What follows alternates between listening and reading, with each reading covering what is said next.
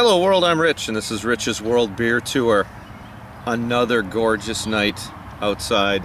Um, unbelievable. It's one of those nights and I want to try a new beer. Haven't had this one before. It's uh, Old Embalmer 13 Barley Wine Ale from Widmer Brothers out in Portland. That's what you're looking for. Old Embalmer 13. I think I've got some 13s and some 12s down in the in the cellar and uh, boy, I've never had one of these little things to remove the wax. Jeez. That is nasty.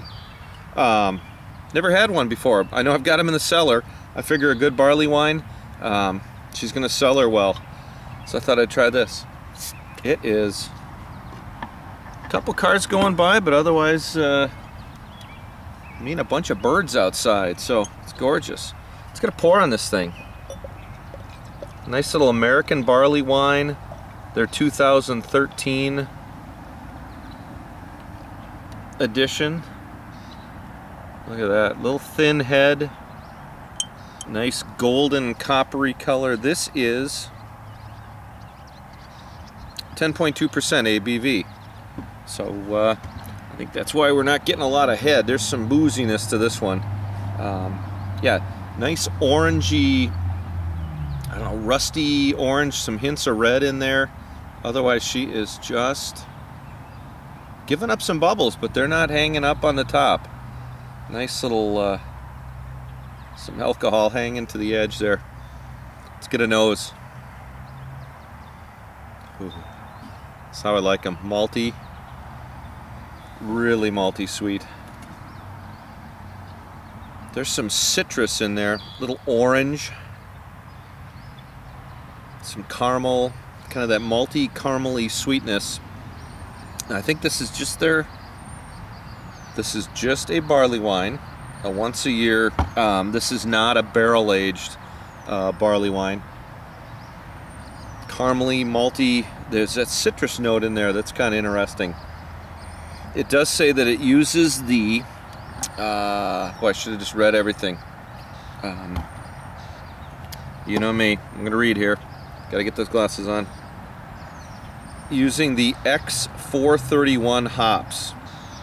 So I don't know what an X431 hop is.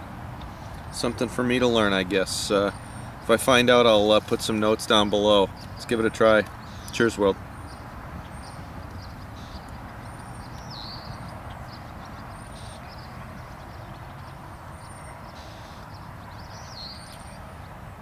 There is a citrus note to that. There's some orange. There is that malty malty sweetness that I like. Just a nice smelling, a nice tasting malty beverage that citrus is in there and that's really interesting. I'm sure that's the hops coming through.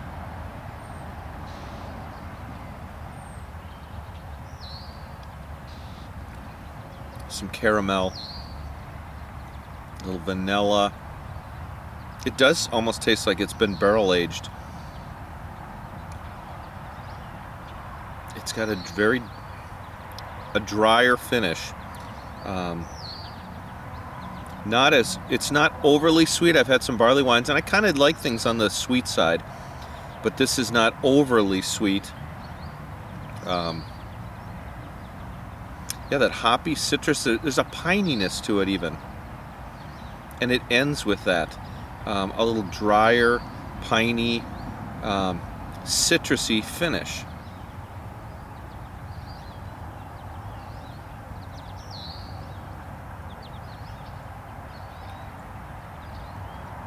Yeah, very, very sweet start, very piney, citrusy finish.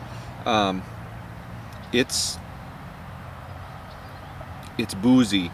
This one I've had obviously 13. I think this came out like a November, December time frame. So we're looking at a half a year of aging already on it. Um, it's it's still pretty boozy. I'm feeling the warmth, but I'm just tasting the uh, feeling the, the alcohol burn. Um, there is a fair amount of carbonation. It's not as thick as as I thought it was going to be. That color lends itself to you think it's a, a honey something. Let me give one more sip here.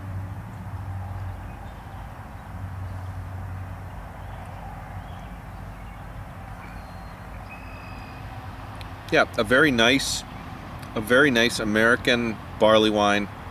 Um, this is going to be a nice sipper for the evening on a gorgeous night. Uh, nice chalice full of, uh, of a of nice barley wine, nice sip. Um, this is nice. Uh, I'm going to give it an 8 out of 10. Real nice beer. Um, I'd buy it again. I think I've got the 12 and the 13 uh, in the cellar. If I can get a 14 next year, um, it'll be fun to try a vertical and just see how this thing ages. Um, really nice. Anyways, uh, it's the uh, Widmer Brothers out of Portland, Oregon. It's their Old Embalmer 13 barley wine ale.